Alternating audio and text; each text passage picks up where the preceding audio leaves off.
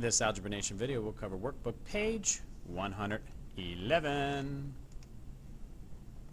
Here we're going to multiply, which really we're going to distribute. And the main rule that you need to know is when multiplying, you need to multiply the coefficients, that's the numbers, and add the exponents. So in this case, we have 6c, a monomial, times 4c cubed minus 8c squared plus 5c, and be called a trinomial three terms. We're going to distribute, multiply 6c times each term in the parentheses. And again, multiply the coefficients, that's the numbers in front, and add the exponents, that would be the powers. 6c times 4c cubed. 6 times 4 is 24. And remember, that's c to the first power. 1 plus 3 will give you c to the fourth power. Next, 6 times negative 8. 6 times negative 8 is negative 48.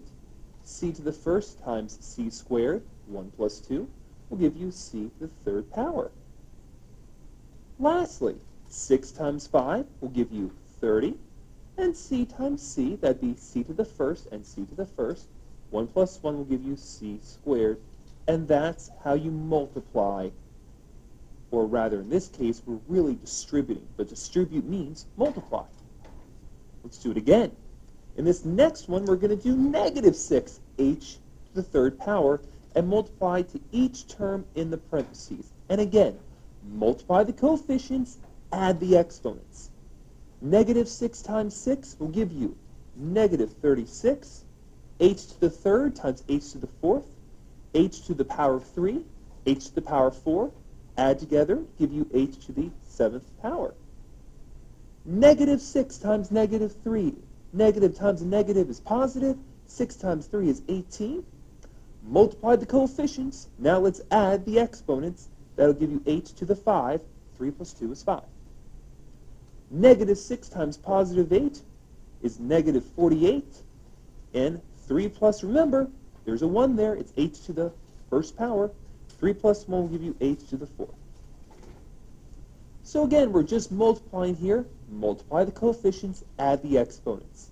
I want you to try too. So get ready. Let's go ahead and pause that video and give these two a try. Pause now.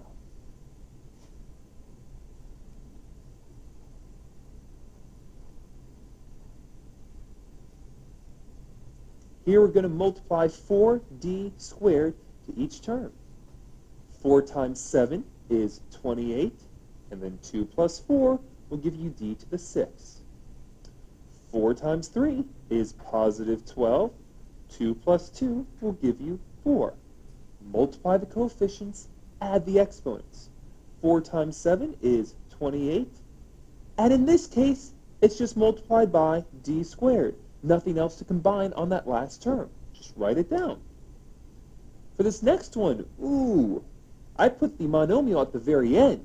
So I would multiply negative 4x squared to each term in the parentheses that has more terms here. That's how I would work this one out. Multiply the coefficients, add the exponents. Negative 4 times 3 is negative 12. 2 plus 2 will give you x to the fourth. Negative 4 times positive 2 is negative 8. 2 plus 1 will give you x to the third. Negative times a negative is positive. Negative 6 times negative 4 is positive 24, and that'll be just x squared. So in this case, we had again one term, a monomial, times another term in parentheses. But what's going to happen when we have more in each set? Again, we have more in each set. Like, for example, if I gave you guys, oh, I don't know, something like 2 plus 3 equals 4 plus 5.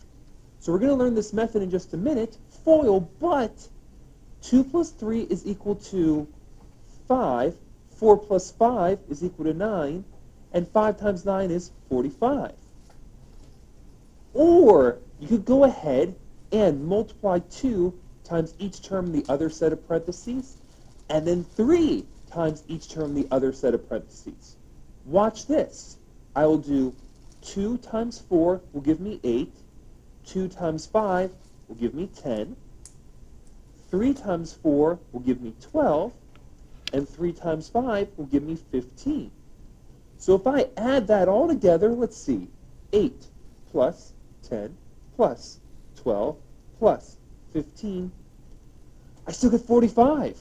Wow, I still get 45. Of course, I'm sure you're thinking, I, I would never do that for this. I would just do 5 times 9 is 45, which is great. But what if you get this? 3n minus 2 are not like terms. You can't combine them. So in this case, we're going to distribute twice, which we call FOIL. We're going to take 3n and multiply to each term in the other set of parentheses, and then negative 2 and multiply by each term in the other set of parentheses. This is what they call first, because it's the first of each term. 3n times 2n, 3 times 2 is 6, n times n would be n squared. The outer are the outer numbers or the outer terms. 3n times 5 would be 15n. Inner, negative 2 times 2n is negative 4n. And last, the last of each of the parentheses, negative 2 times 5 is negative 10. Am I done? No. I've got to combine like terms now. 15n minus 4n will give you 11n, and your answer would be 6n squared plus 11n minus 10. That is how you go ahead and multiply a binomial times a binomial. Two terms times two terms, we call it FOIL. So let's look at that again. We have 3n minus 2 times 2n plus 5, and we're going to do FOIL. So f is the first. 3n times 2n gives you 6n squared. The outer, 3n times 5, will give you 15n. The inner, negative 2 times 2n, will give you negative 4n. And the last, negative 2 times 5, whoop, will give you negative 10. But remember, we've got to go ahead after the FOIL and combine like terms, giving you 6n squared plus 11n minus 10, as you see right there. So let's do it again. Ready? Let's FOIL again. FOIL. Two terms times two terms. Binomial, binomial. I like to draw the arrows. I draw an arrow to each term from the first to the second set of parentheses, and then again from the first to the second to see the FOIL. First, 6a times 2a squared. 6 times 2 is 12. a to the first times a squared will be a cubed.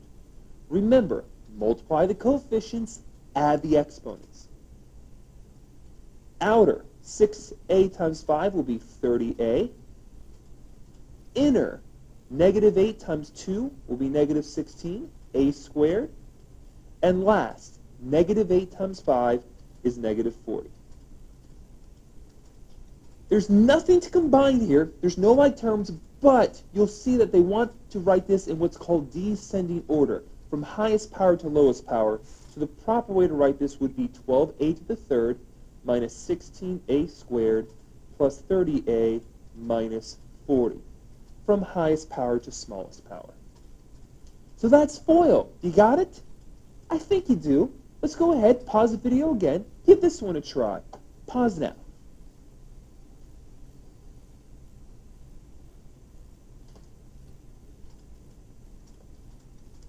Here we go. I'm going to distribute twice, which we call FOIL. The first, 2 times f is 2f. The outer, 2 times 8 is 16. The inner, negative 8f squared times f, that would just be negative 8, because it'd be times 1 if anything. f squared times f is f cubed. And last, negative 8 times 8 is negative 64, f squared. From highest power to lowest power, that'd be negative 8f cubed minus 64f squared plus 2f plus 16. Remember, you can always pause the video, go back, watch it again. If you have any questions, post on the wall, because all we're doing here is multiplying. We're multiplying different terms.